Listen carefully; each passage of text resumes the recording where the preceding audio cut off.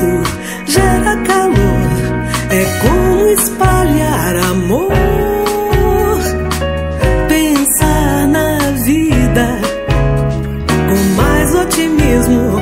A troca do afeto se faz necessária para todos nós, amigos ou não.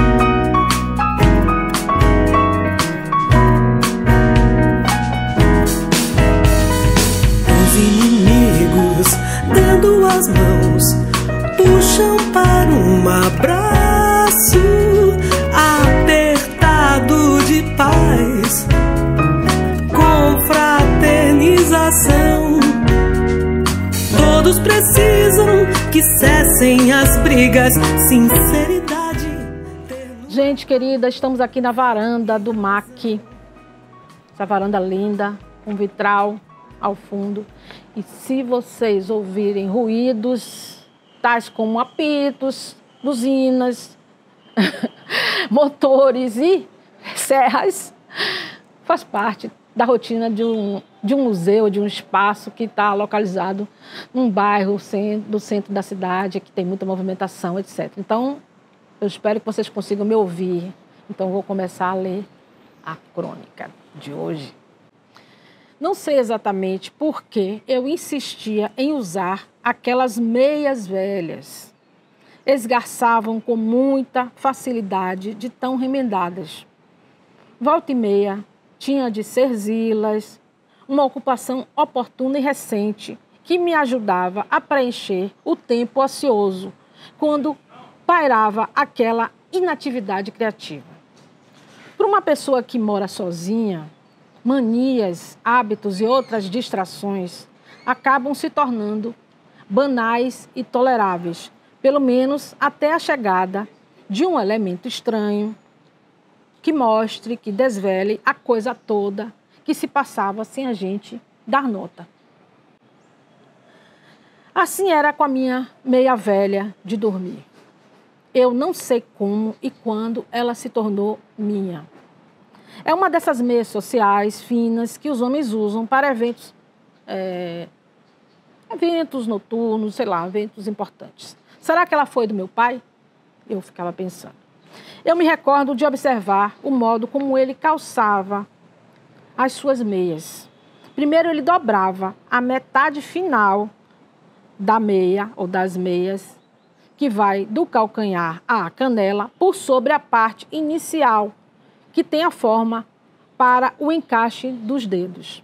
Aí, metodicamente, ele enfiava a meia assim dobrada e depois era só ir desenrolando de tal forma que ela deslizava suavemente até o fim, vestindo o pé, depois os dedos, até a canela. Eu achava uma beleza aquilo tudo, uma perfeição. Tinha uma ciência naquele gesto inteligente do meu pai. Essa memória me faz cogitar ter herdado essa meia social masculina do meu pai. Não sei se era branca ou bege, eu não sei, eu não me lembro. Somando-se a isso, o fato de minha mãe ter muita dificuldade de jogar coisas fora. A meia deve ter ficado esquecida tempo demais em alguma gaveta e perdeu sua cor original. Para vocês terem uma ideia do meu apego sincero à meia, eu cuidava para que ela não se desmanchasse durante as lavagens. Não usava água sanitária. Também não esfregava os pontos mais sujos pelo uso, porque era temerário demais. Podia se rasgar na minha mão.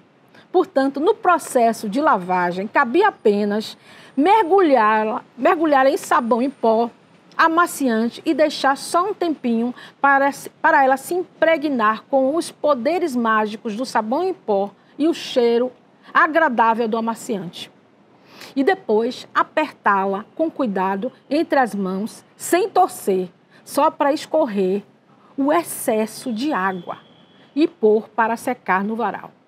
Era tão fina que secava bem rápido. Assim velha, assim esburacada, assim por um fio, aquela meia era ideal.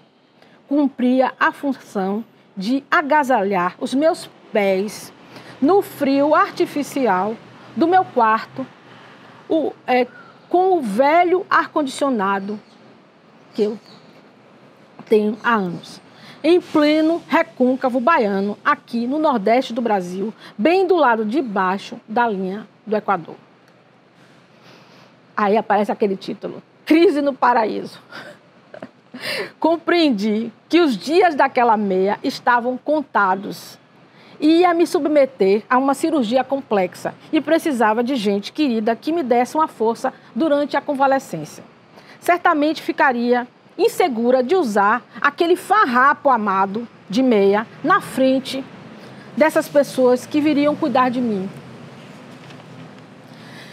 Sei que, por amor, me deixariam ficar com as minhas manias, mas era demais pedir a alguém que calçasse em mim aquelas meias em estado terminal.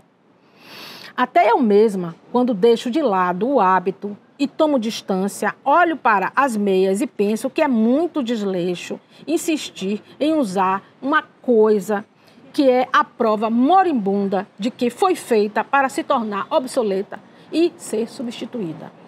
Sou como todo mundo. Uma parte de mim se adaptou à mentalidade capitalista que desde a modernidade acredita que as coisas não são feitas para durar, acabam, se consomem, até morrem, às vezes prematuramente. Em troca disso, ou dessa aceitação, nos prometeram a felicidade, mas ela não veio até hoje, nem fácil, nem difícil. De volta às minhas meias, dei mais uma olhada, avaliando se, quem sabe, era possível salvá-las da extinção. Que nada hora de dizer adeus.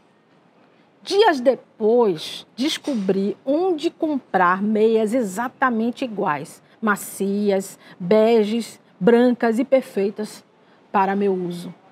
Levei para casa dois pares, um branco e um bege, das minhas novas meias sociais masculinas para dormir favoritas. Elas, com elas eu não passei vergonha na companhia de quem veio cuidar de mim só um pouquinho.